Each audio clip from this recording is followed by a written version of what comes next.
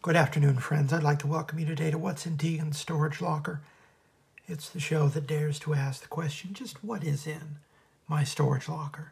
The answer today, well, friend, the answer is always going to be comic books.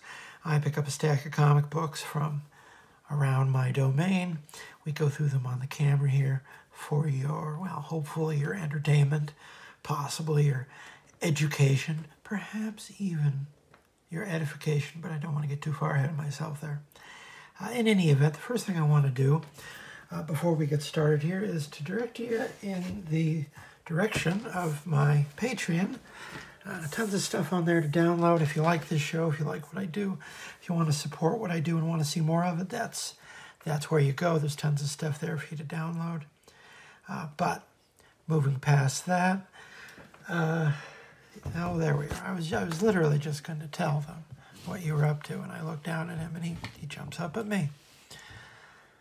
Uh, is this going to be a problem?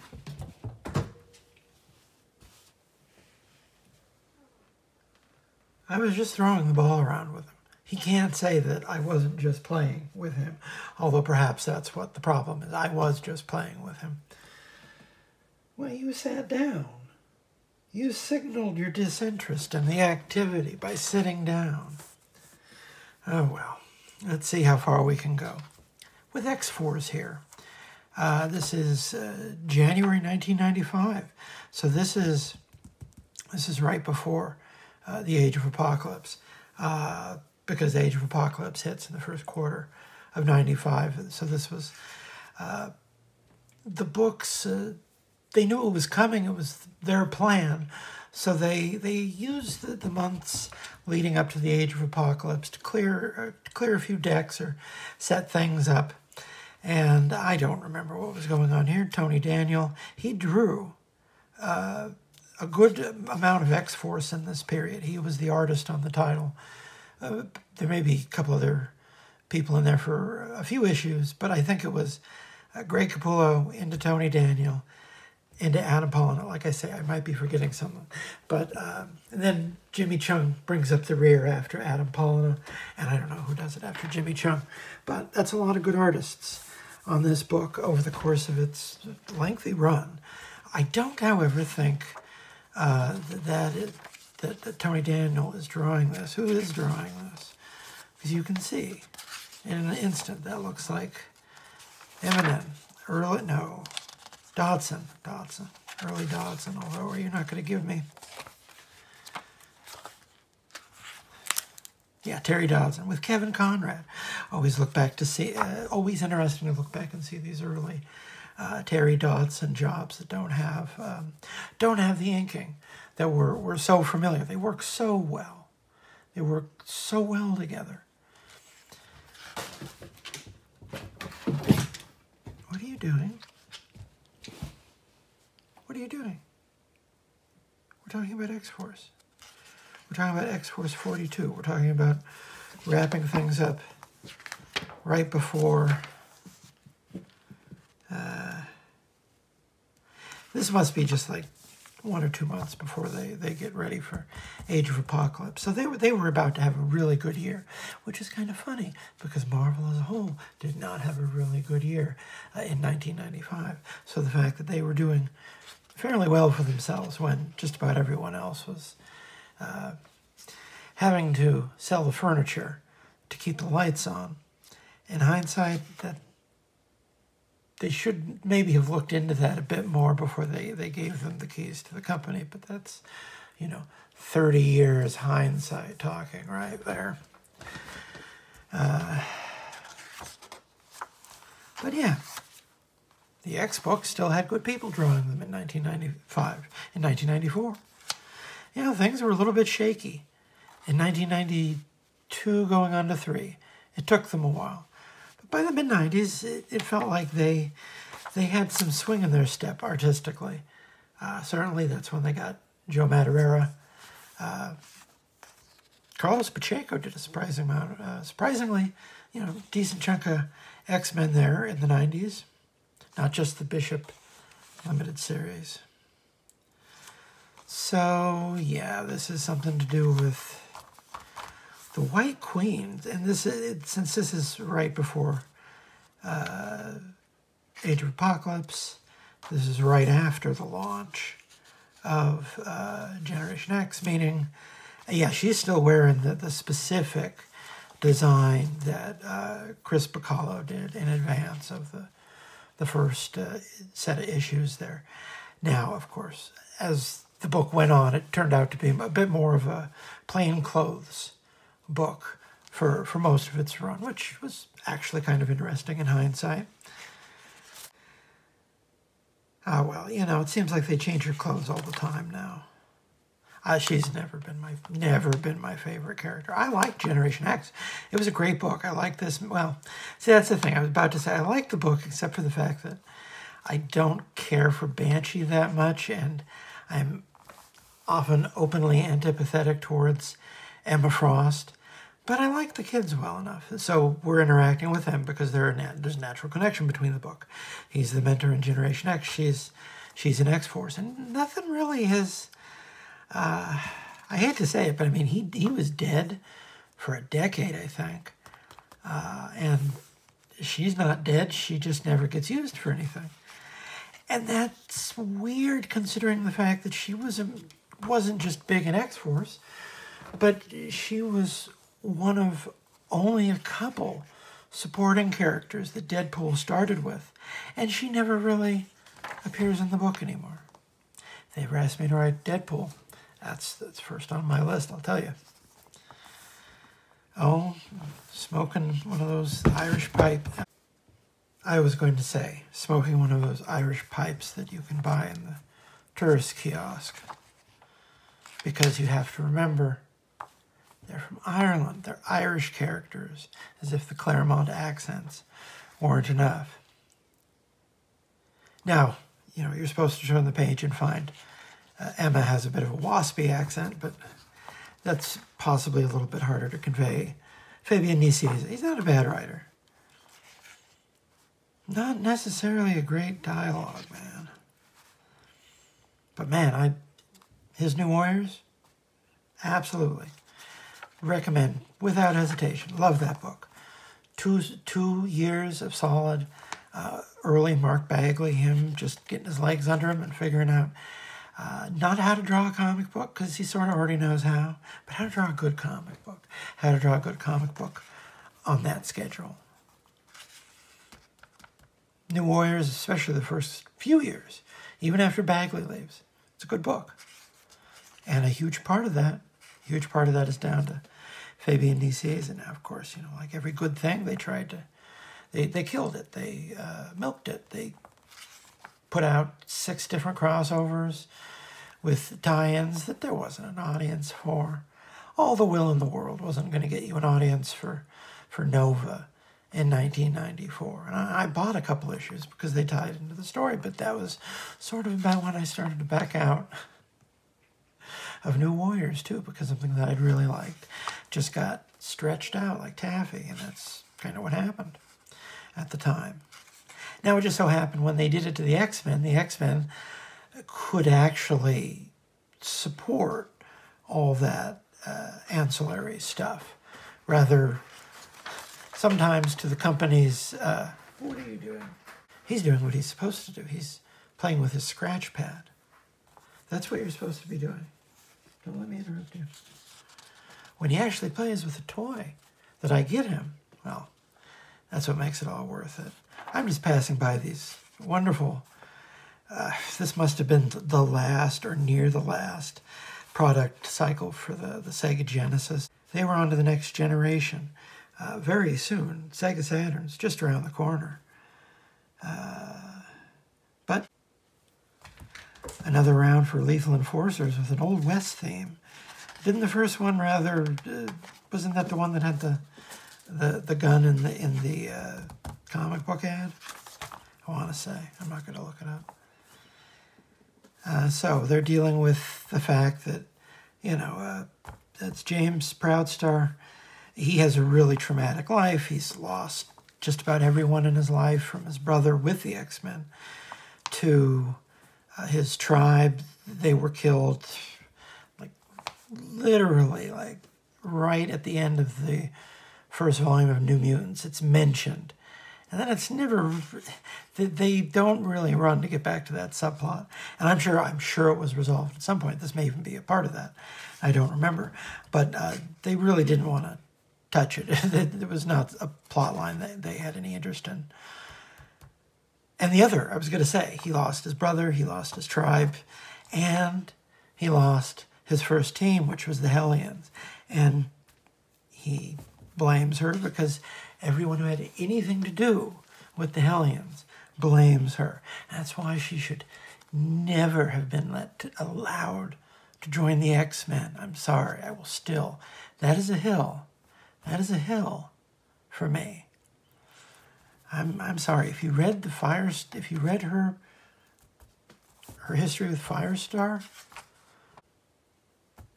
you do not let this woman near any position of authority, or she will burn your horse barn down. I have read that. I know.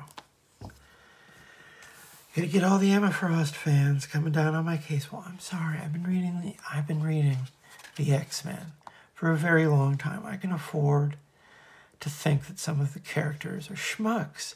The X-Men is full of schmucks. I don't really like a lot of the X-Men. If, if I had to share a car ride with most of them, I would have a problem. Imagine being in a car for 14 hours solid with uh, any of them. Any of them. Absolute terrible company, I'm certain. And yet their adventures are often quite quite entertaining. You know, that's the joy of fiction. Uh, oh, so we're back at the Massachusetts Academy. And years later, I lived in the area that the Massachusetts Academy, I think, um, Western Massachusetts. And it, it is a beautiful country. I'm not, I'm not going to lie. I'm not going to try to tell you. I didn't always get, around, get along with all the people in it, but it was beautiful. Perfect climate. Perfect climate, other than the whole swampy summers. Never got used to that. Can't deal with the humidity. But they're mutants. They don't have to worry about humidity. So yeah, I mean, this was a good, oh, this was a good mix of characters. People liked these guys. And of course, as was often the case, uh, nothing good happened to them after the run of their initial uh, series. I mean, you know, you can say that about all the X characters to a degree. I mean, poor Paige, she was just demolished in the Chuck Austen run. Just threw, the, threw a wonderful character away, practically, with some of the, the worst plotting of that series. Now, you know, Tabitha, she's actually done pretty well. If you have not read The X-Terminators, The X-Terminators is a rare, recent X Men book that gets my 100% unqualified recommendation. It's a great book. It's a fantastic time. It's funny. She's great in it. She showed up every now and again. But, you know, a character who sometimes is interesting and a lot of the times just sits in the background. And she actually has shown up a lot more than I would have guessed based upon the first couple years of this book when her her plot lines just dragged everything down. And to this day, I read them I like the book, but don't ask me to explain what what her origin is. I'm not going to be able to do that with a gun to my head. And I'm glad that for the most part, I, I thought that they had just were putting that in the past, but then the penance form appeared in Uncanny Avengers, which I bought because it had Rogue in it. And I was confused, but not enough to figure out. Not enough to go back and figure it out.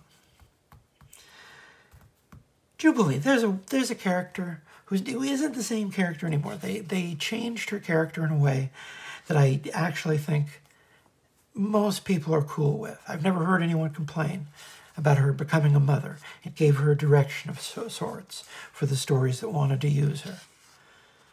Uh, she she went through a period in the early 2000s. No one was doing anything with her, so it seemed like she just sort of fell through the cracks for a while.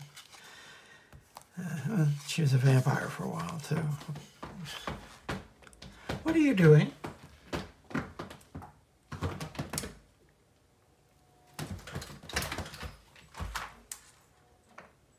No. Some little scamp just ripped a plug out of the phone. So, congratulations, he's learning technology. You know, every time I see a picture online of someone teaching their cat to use a screen, I just think to myself, is it a good idea to give these these monsters any understanding of human technology? No. That is not a good idea in any way. Hmm. Pitfall, the Mayan Adventure. Do they still make Pitfall games? Pitfall, or something very much like Pitfall, was the only uh, program, the only game program on the early computers that they began using in elementary schools in the 80s and the early, I think the early 90s. I remember seeing so many games of Pitfall and I could never get the hang of the controls myself. So there's some sort of intense conversation. I'm sure it's 100% on character, significant. Fabian Nicieza is in charge. He always had a good hand for characterization. Uh, I mean, that's that was the, why New Warriors worked as well as it did. We love those characters. He made them, you know, really come alive. And to a degree, you know, he, he did that kind of work on this book as well. Oh, see, there we go. That's, uh, you're wondering who this funky mutant is. Well, we're not telling you, so you're just going to have to guess. Oh, they're being cute about it. Keep it parked right here for the December edition of X-Facts. And sometime around here, um, the issue of Wizard should be hitting stands. It's announcing that all the X books are being canceled, uh, which, let me tell you something, it hit. It's the stupidest thing in hindsight. I knew it was a, a put on of some kind, but it was still a shocking put on. What the heck could be big enough? To be fair, you know, the story was actually was actually pretty big, and a lot of people liked it, and I really liked it and it was it basically destroyed the line. Being able to actually do a good story like that one time that people really liked doomed them for at least the rest of the decade to try and chase that.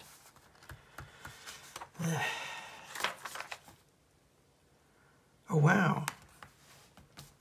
Wasn't expecting to see a Howard Chaykin riff like that in the middle of X Force, but there you go. That's interesting. Ahead of its time. Oh, that's nice. You know, early Dodson was was good. Early Dodson knew how uh, to draw a comic book. Definitely, uh, there's a reason why I get his very early, early stuff mixed up with Eminem's early stuff because they both have a very uh, rounded feel that you know clearly they get from Hughes and Maguire, I'd say as well, with some Michael Golden in there but definitely people who um, understand physiology as, you know, physiognomy as the backbone of what they do. I did a review uh, last year that was sort of a rundown of that school of art. I'm putting it up on the screen right now so you can check it out. A Lie of the Mind, Fabian Nicieza, Terry Dodson, Kevin Conrad. All right. Next issue, the search for Bobby DaCosta continues as the MLF's locus appears. Uh, so, so they were still dribbling out characters from the first part of the decade. They really created a lot of characters in the first couple of years of the 90s, and then they spent the rest of the decade just figuring out what to do with all the randos who had appeared uh, in the background of a Rob Liefeld comic book at some point. And they've actually got interesting some of them. Some of them still, you know. Has there been a great forearm story? I don't know, maybe there was in the Krakoa years. Uh, so, yes, I think I've spoken about Maximum Carnage before. Never could defeat it, because Acclaim, in their infinite wisdom, they chose not to introduce any kind of save function. No, this was done in one. You sit down, you beat every level in one sitting, or you don't beat this game. I couldn't do it. I had trouble clearing the intermediate rounds. My friends, who I ended up loaning it around to, who were much better at video games than I, no one I know was ever able to beat this. No, man, you'd have to go in shifts. Oh, more of these clearables. They just did they still sell that stuff? It just dries you out. It just dries you out so terribly. All right, I got something fun. World's Finest, number 287. Uh, so this is 80, what is this, 83? Yeah, January 83, so tail end of 82 this came out.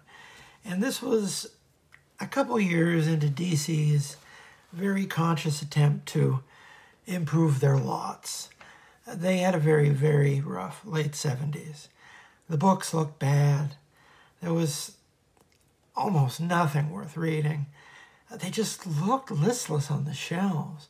And they entered the 80s really feeling sorry for themselves almost.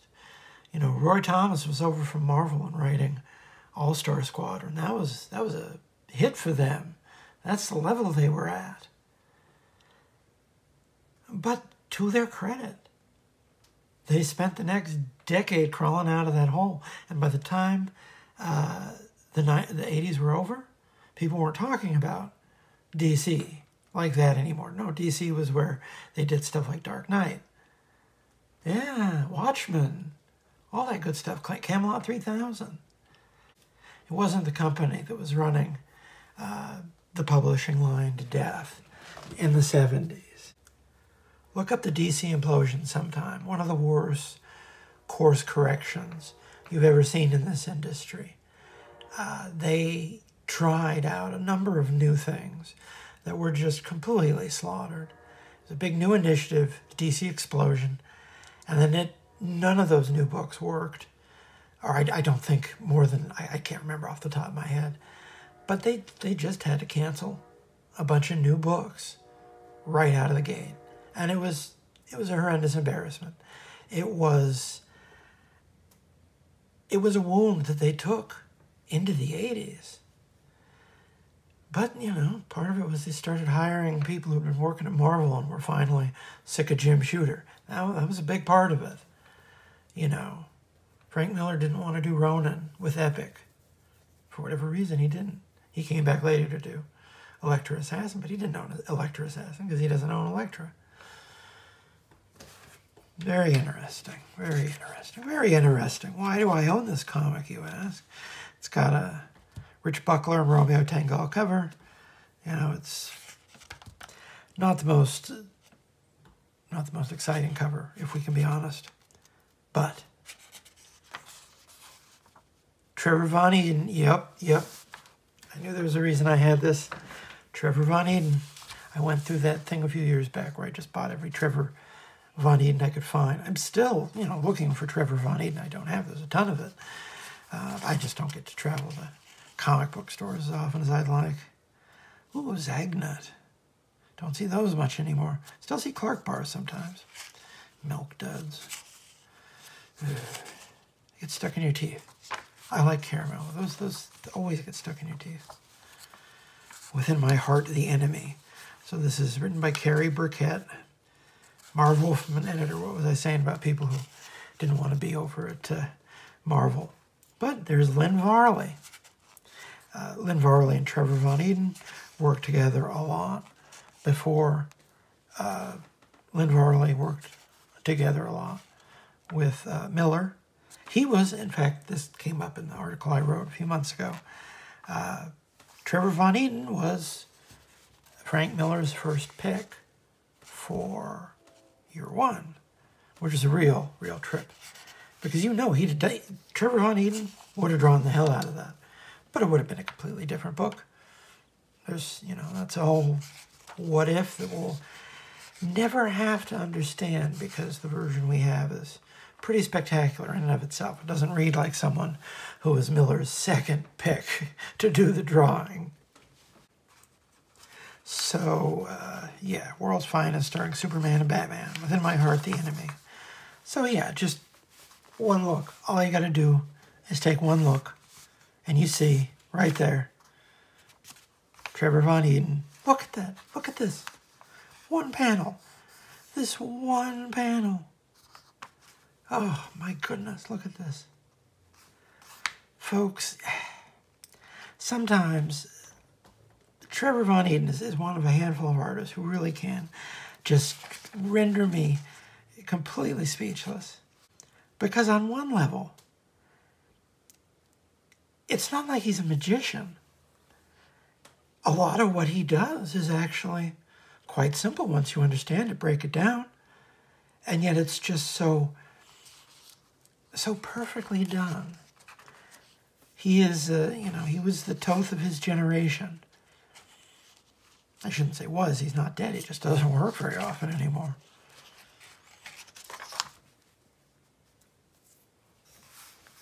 Oh my goodness, look at that. Look at that. Look at that.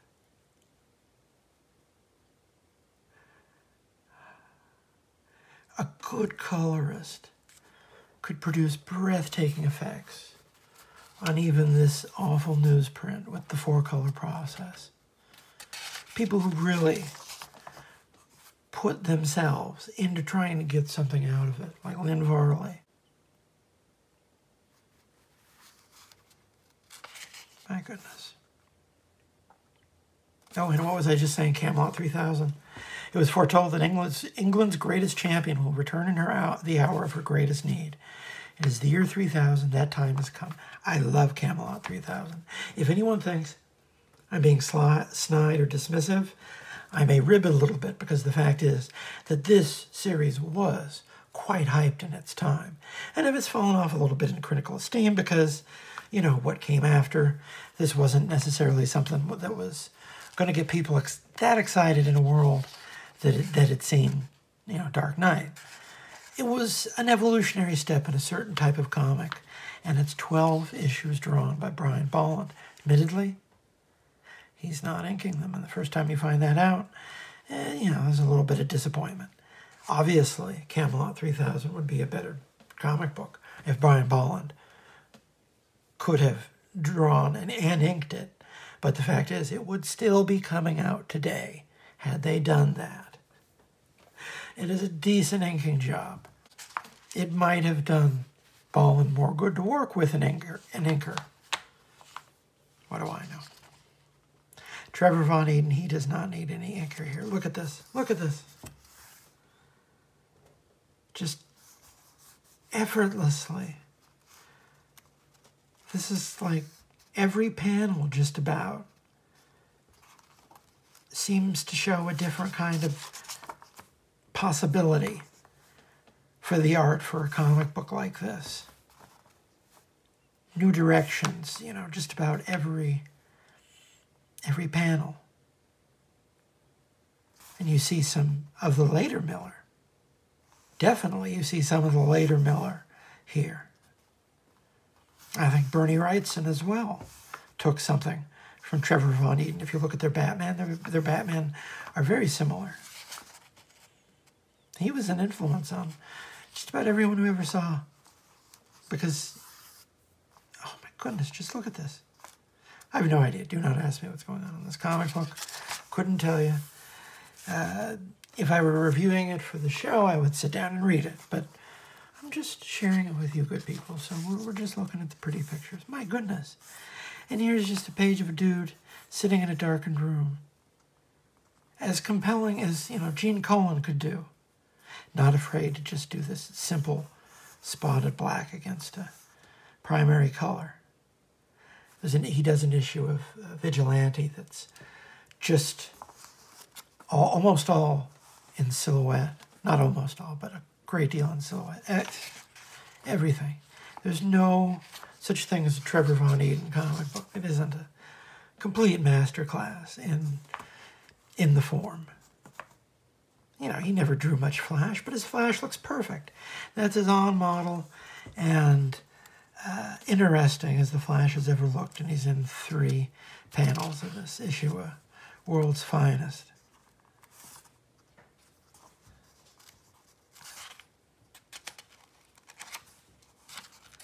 His characters have expression. He's not afraid to use negative space. Man, look at this. And you know, all this stuff that was trickling up that Miller was paying attention to. You know, that's how it trickled into the image generation. When you see layouts, you know, a lot of negative space with these tiny close-up panels. All the image guys did that a ton because it works. It pops. And this tiny little establishing shot at the bottom here. Ah, so, so excellent. Look at this. This is world's finest. This comic book does not deserve to look this good. I'm just going to go straight out and say that. No offense to Mr. Cary Burkett, but the fact is, this is. And then he even does that thing which I associate almost exclusively with um, like fanzine art. People who come up from the fanzine circuit will use different line weights, like this spotted black with, with tiny uh, hatching coming out of it. Gilbert Hernandez does it as well. Not a technique you see very many people do because it almost seems like uh, a very amateur technique, and yet it can be really effective.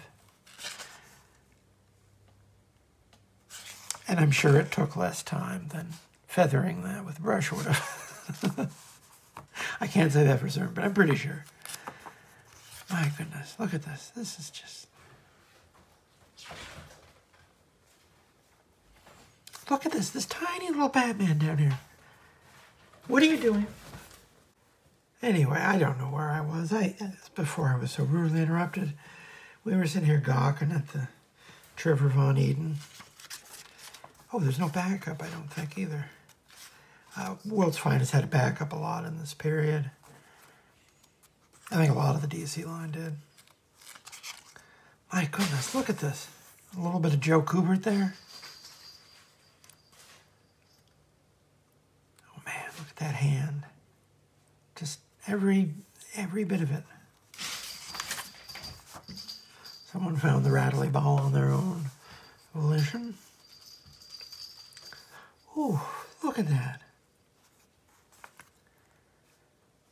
How can someone give us such a nice Superman on one page, then bam, excellent Batman on another page? It, it boggles the mind. And this was just a regular monthly comic book. He didn't draw it every month, but he drew it sometimes. He drew a few issues of World's Finest. David Mazzucchelli actually draws uh, his first DC work, I think, is a backup in World's Finest. I want to say I read that one on the TikTok channel because we're all about excavating the history. No, they're still selling the Sergeant Rock toys. Uh, that didn't last for too long. You know, no one was buying the comic book. If they'd had a cartoon, if there'd been a Sergeant Rock cartoon, maybe they could have done something. But in 1993,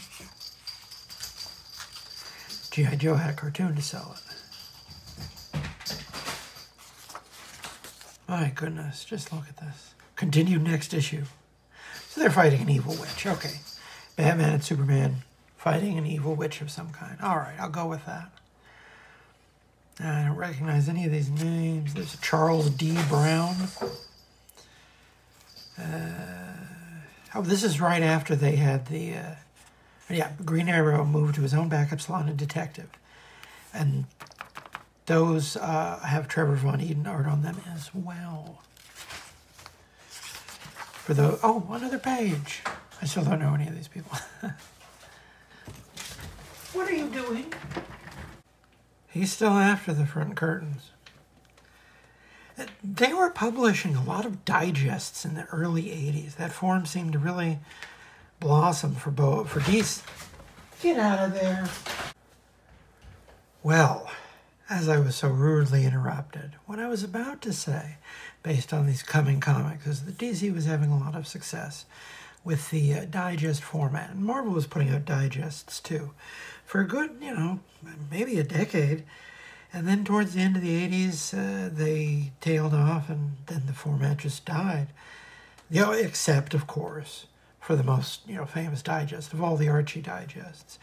But they paid a lot of money for that supermarket check stand real estate, and they weren't about to share it with other with other comic book companies. That wasn't part of the deal. So uh, no one else really had much use for the digest. Although every now and again, uh, someone does try a smaller than usual size reprint format. I think there's a line of Marvel Masterworks right now that's actually slightly smaller than size. Although, to be fair, all Silver Age stories are printed at smaller than size. That's a bit of an open scandal, but I think you've heard me about that before.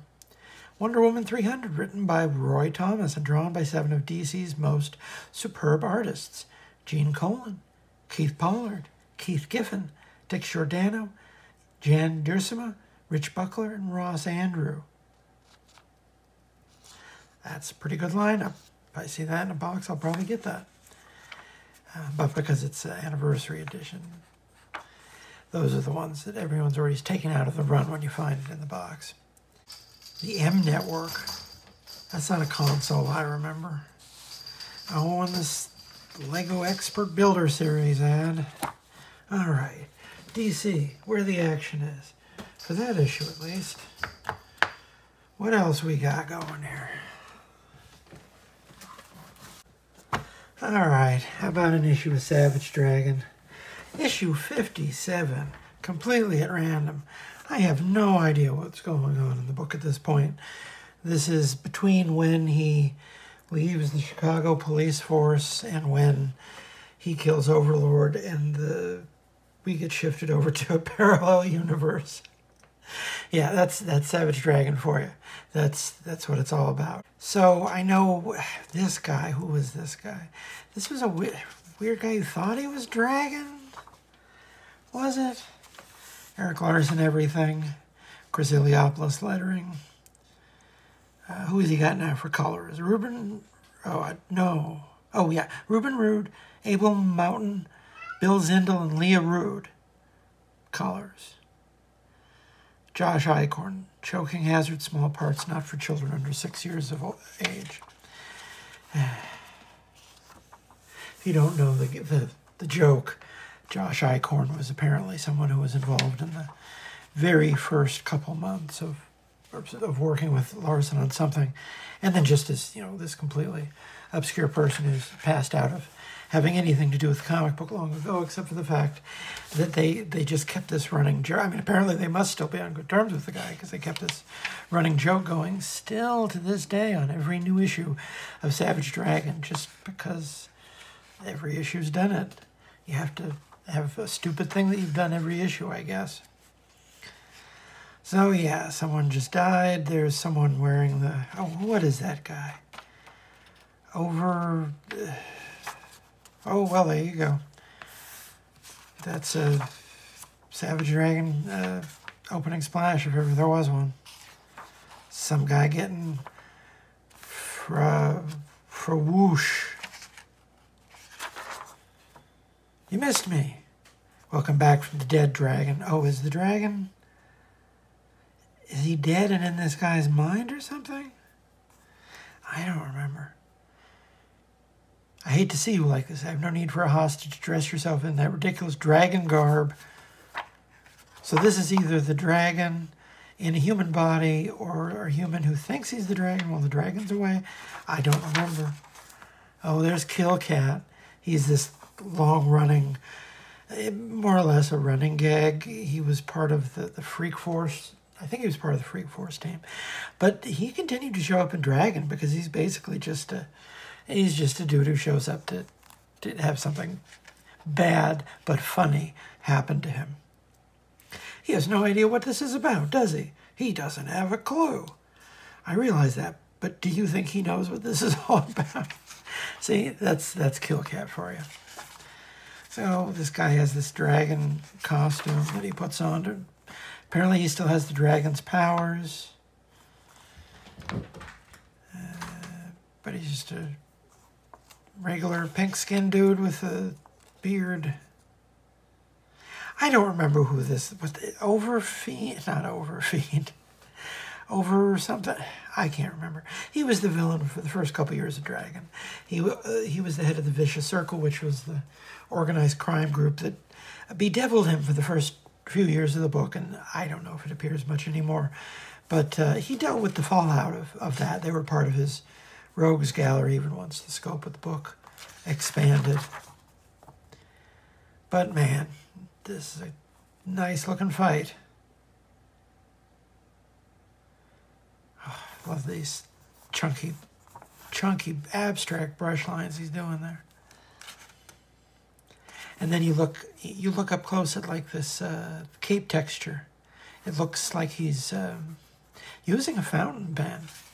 Very uh, organic line. My goodness.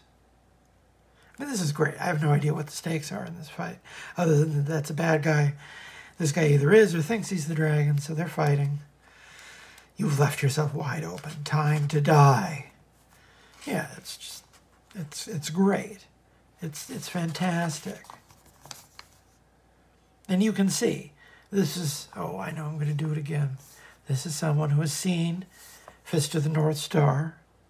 Looks like he's about to put his hand into the dragon's chest there, which is something that happens like literally every six episodes on Fist of the North Star. It's a lethal injury for most people. Uh,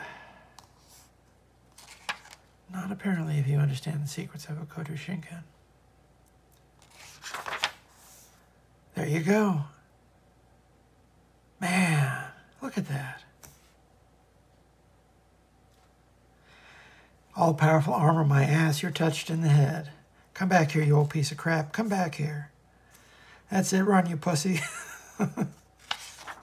I chuckle because Dragon's the only book where people are still going to be, eh, you know, talking like salty people off the street. Speak to me, baby, please. Tell me you're in there. Tell me everything's going to be okay. Can't hear his voice in my head, Rita. Oh, so apparently, yeah, I guess Dragon's mind was okay. So his his mind is floating around. There's Jennifer and oh god, I can't remember her name. She grew. She, if you remember, Mr. Glum, Mr. Glum ends up at her as her babysitter for a while, and then there's two different versions of hers. One which goes to another dimension with Mr. Glum. Not even gonna try. Oh wow, cadaver.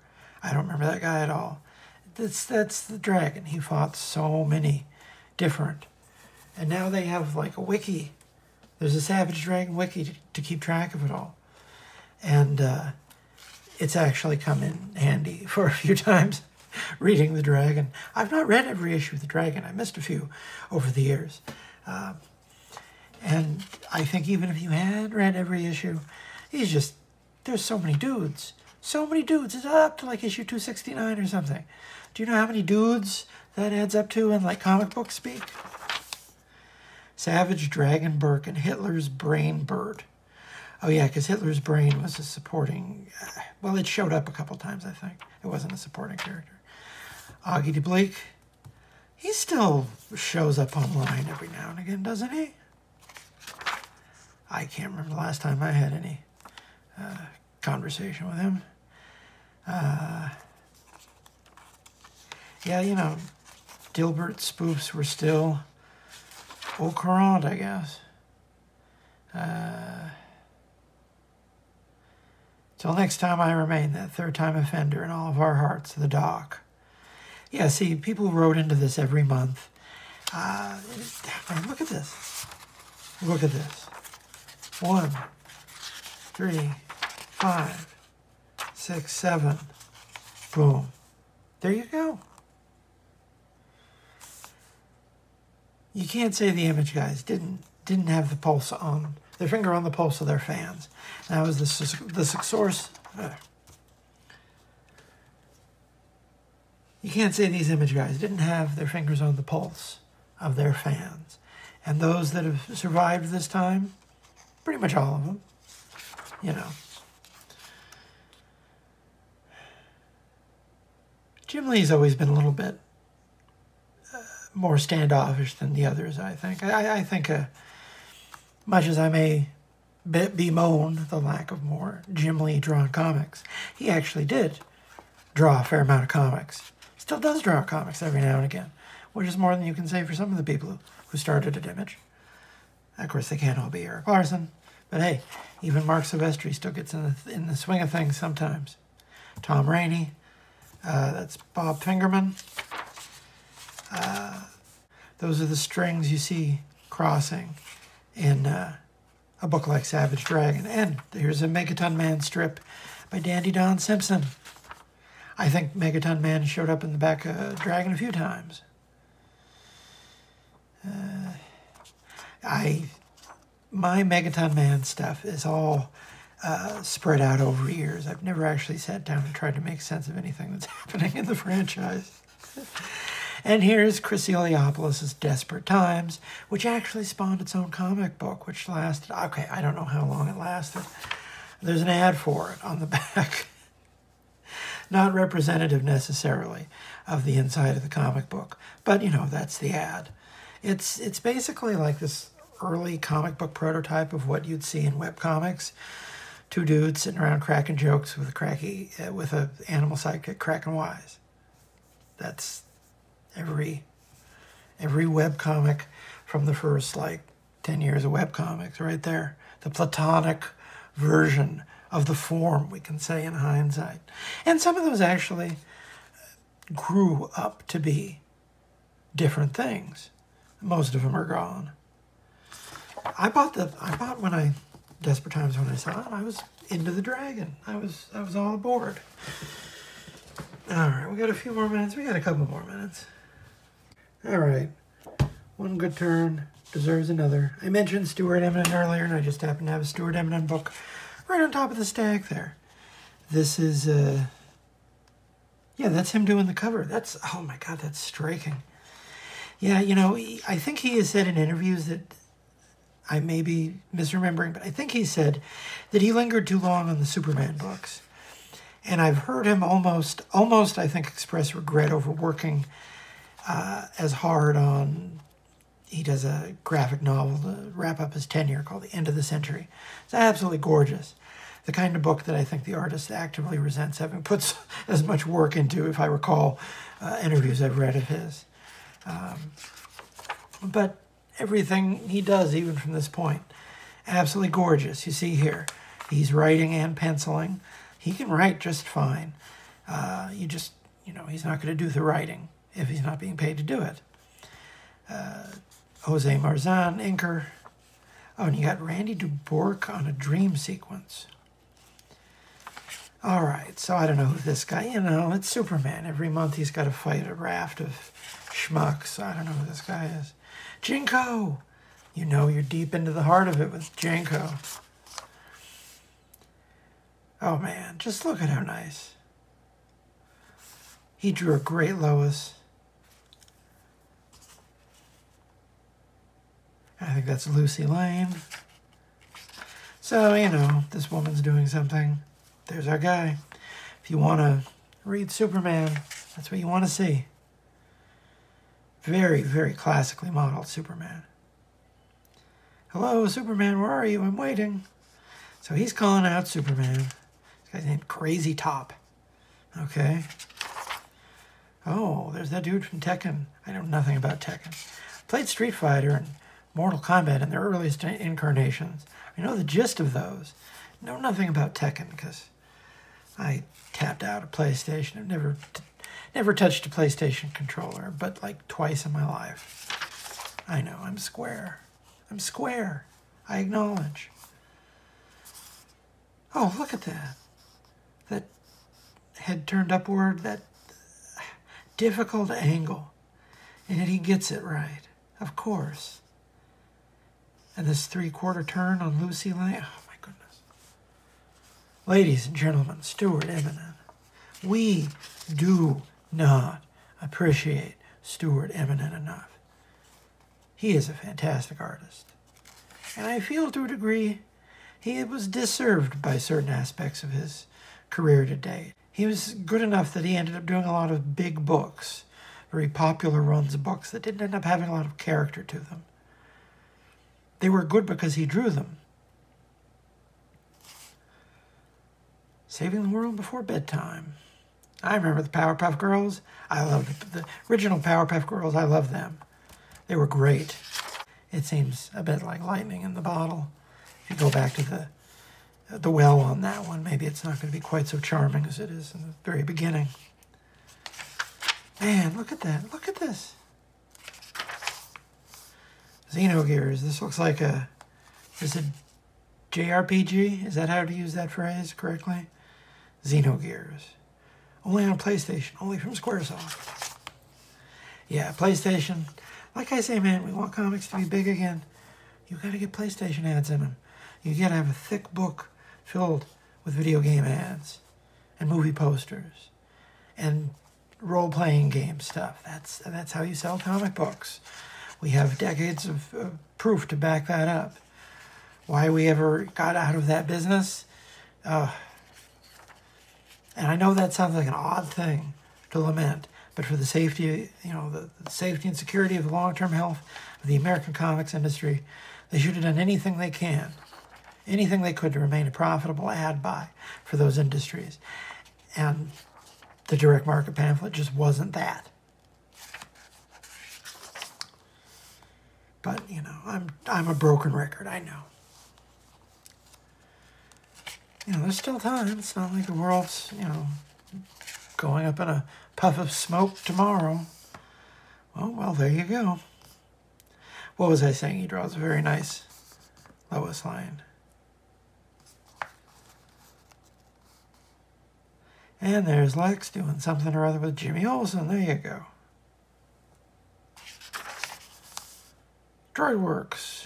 Oh, so this is 99, so this is part of the uh, Phantom Menace ad, ad push. They were pushing out so much Star Wars stuff. Oh my goodness, look at this. Look at that. Ladies and gentlemen, Stuart Immonen. And you can do some cute little uh, comic strip in this uh, pamphlet. That's cute. Eventually, he pares his style down quite a bit. You know, by the time you get to Nextwave, he's practically minimal in some of his line work. Hey, Musashi, Brave Fencer, Brave Fencer Musashi, Bushido Blade. So you're putting out two games at the same time in the same ad with, with swords in them? Seems like you're, you're breaking up your, your sword demographic there. What do I know? Includes collector's CD with a playable demo of Final Fantasy VIII. Uh, there you go. Do they still do the correspondence courses? Kubert School produced a lot of good artists over the years. Still does, as far as I know. And there's uh, Lucy Lane with Ron Troupe, who was a he was a great supporting character. He was a great guy. Whatever happened to him? He just uh, this whole this whole supporting cast in this period was really well drawn, and I think that uh, when people talk fondly about that this period, I think the fact that all of the supporting cast really got the chance to breathe, to shine, to establish themselves. They're meeting his parents, apparently, which, you know, I guess was uh, enough to be a plot line in a Superman comic book in the late 90s. Uh, oh man, look at that angry Lois down there. TV in the elevator. Well, she's complaining that everyone's using computers at the new. At the that's interesting. This CGI. Uh, it, I say CGI, but it would have. Uh, what is that? What would we have called it at the time? Like uh, the DOS aesthetic. So Superman's still fighting that schmuck. Man, I'm just loving every different Lois Lane expression. She's so expressive. Man, lots of people are drawn Superman. But I think Stuart Immonen is in the top rank of Lois Lane artists, if you ask me. Uh-oh, there you go.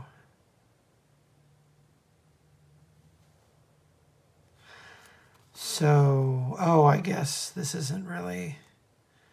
Oh, it must not be Kryptonite. Oh, well, Superman is here. Oh, is this Superman for the N64? Oh, man. Notoriously one of the worst video games that has ever been. Uh, I'm sure that there are any number of videos on this very same platform if you want to get with the chuckles on that one. Oh, there's a um, Maggie Sawyer. That's her name. Eventually, she would sort of move over to the Batman books because she became a Batwoman supporting character. But she was a Superman uh, supporting character for the for the '90s. Like I say, a lot of good characters used in this period. Man, look at this. Uh, how can you see this and not want her him to draw a Lois Lane comic book? How good would that look? Look at this.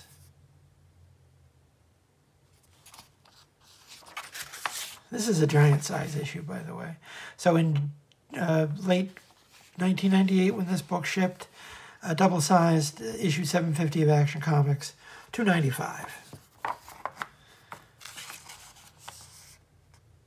My goodness. Yeah, I really, you know, even if I was losing my patience with the books at this time, maybe the reason it took me a long time to completely wean myself was that week in and week out, they were still, they could still look very good. Oh, this after the Lost in Space movie. I remember being rather decent. It's the only, I think it's the only iteration of Lost in Space I've ever spent any time watching. uh, so this is a dream sequence of some kind, drawn by someone else. Was this just some random dude having a dream about Sp uh, Spider-Man, Superman? Oh no, it's Superman having a weird dream. Oh, that's his boss. I didn't recognize because it's, it's a different artist. That's his boss at the paper, I guess. Maybe you're more affected by losing your job than you thought. Yeah, Superman was doing the uh, getting laid off from reporting in the late '90s, so you know they were they were with the program as far as that goes. Of course, finding something for Clark Kent to do in 2024, I think, uh, takes a bit more uh, a bit more imagination unless you want to write him as a columnist. Look, I'm on Game Boy camera. Do tricks with pics. Geektronica, well, there you go. Was there a bullpen, bull, not bullpen balloons, but you know, whatever. Eh, they weren't always showing up at this time. I don't actually think this one had one. Oh well. What are you going to do? I think that's it for this uh, this book. Unless you want to look at the Subway uh, Kids Pack ad. All right. Well, well, that was a that was a good show. We looked at some interesting comic books today. That's fun. Bit Superman heavy, but uh, you know everyone loves Superman. All right. Um, check out the Patreon if you like this show, if you want to support me and see me do more of it. Uh, that's where I'd recommend you go. I got tons of stuff to download there. If you like my daily comic book reviews on TikTok and Instagram, uh, that's also where you show your support. I do weekly, more or less weekly reviews, essays, something or other, usually up of mine on the front page of the journal. Uh, just last week I had a big piece out on Joe Casey. Uh, what else? Got a podcast with Claire Napier. It's called Udder Madness. We talk about Top Cow Comics. That's uh, Witchblade, Michael Turner, Mike Silvestri, Mike Silvestri, Marc Silvestri. I've been doing this spiel for how many shows? Uh, maybe that's it. I've said it too many times. Uh, anyway, we also got videos up here on uh, YouTube. Check them out. What else? Uh, I can't think of anything. Have a wonderful day. Take care of yourself. Take care of the world. Be kind to animals, small children. Uh, just, if you need to go get a drink of water, go treat yourself to a nice, cool drink of water. Take your pills if you need to. I shouldn't be the one who has to tell you to do that.